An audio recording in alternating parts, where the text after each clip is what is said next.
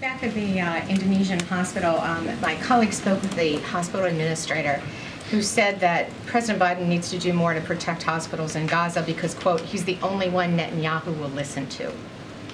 Could you comment on that? And also, is the U.S. at all concerned that Israel keeps it, is being seen, rather, as attacking uh, one Gaza hospital after another, and also areas in the south now? The president, in every conversation that he has with Prime Minister Netanyahu, and it's not just him, Secretary Blinken, Secretary Austin, Jake Sullivan, the whole team here, um, at every instance, continues to urge Israelis uh, to be as cautious and as deliberate and as careful as they can in conducting these operations against Hamas, which they have a right and a responsibility to do to go after Hamas. They also have a right and a responsibility, an added burden, if you will, because of the way Hamas fights, uh, uh, to uh, to do everything they can to look after civilian casualties. It is a part of every discussion that we're having with our Israeli counterparts. And I'm sorry, the second question was.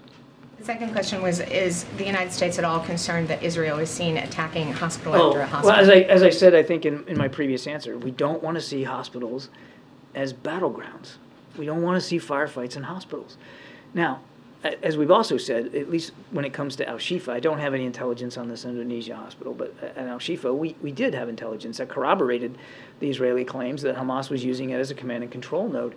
Um, so it puts an added burden on Israel as they conduct operations in and around hospitals to be even more discriminate and more careful. Uh, because again, you got real live patients, real live doctors, real live nurses that you got to look out, out for.